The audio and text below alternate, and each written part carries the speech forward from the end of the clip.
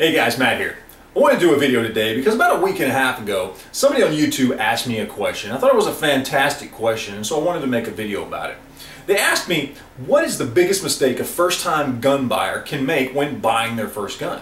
Now, I've gotten asked many times about buying first guns. Should I choose this or this? Should I go with a handgun or a shotgun? You know, I'm turning 18. Shotgun or rifle? Turning 21. You know, semi-auto revolver.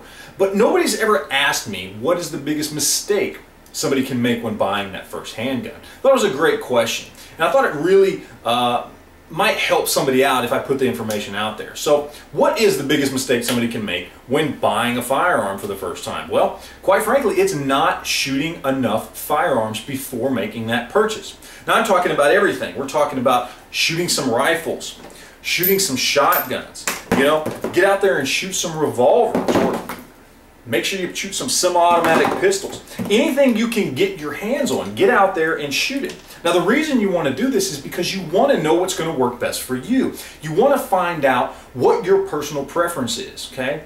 You want to be able to know what you're comfortable with, what you're proficient with. And I'm not just talking about a specific type of gun, but also the caliber. You need to know what you can and can't handle when it comes to calibers. These are all very important things that you need to know up front because just like with any decision you make, personal preference, especially when dealing with a firearm, reigns supreme. It's one of the biggest factors to making any sort of decision, especially something like a first firearm where for the first time you're going to go out and spend four to eight hundred dollars on a firearm. You want to make sure you do what you need to do to make sure it's the right choice. Now, I've met a whole lot of people in the last few years that are new to firearms and that went out and bought their first firearm without even shooting a firearm at all before.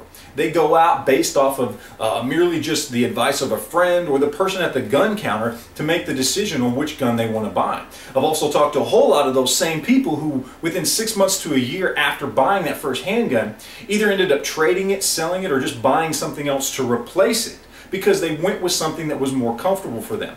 So in the end, getting a chance to really shoot some guns before you make the decision to buy is going to save you time and money in the long run to make sure you pick the right firearm the first time. I know a lot of people go with the intention of saying, I'm going to go buy a pistol, but when they get a chance to sit down and shoot something and really think about it and do some research, maybe they end up going with a shotgun or a rifle instead for their first gun. There's a lot of factors you need to take into consideration. And shooting these guns, as many of them as you can get your hands on, is the best way to figure out what works for you.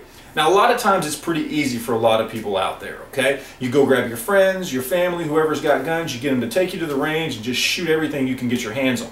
For some people, it's a little more difficult. You may have to actually go to a range and rent some guns. Maybe you don't know anyone that has guns, or maybe you live in an area where guns are a little more restricted, and that's your only choice. But either way, it's going to save you time and money in the long run, and it's going to help you figure out what will work best for you. And really, that's what it boils down to figuring out what's going to work best for you so you make the right decision the first time you buy.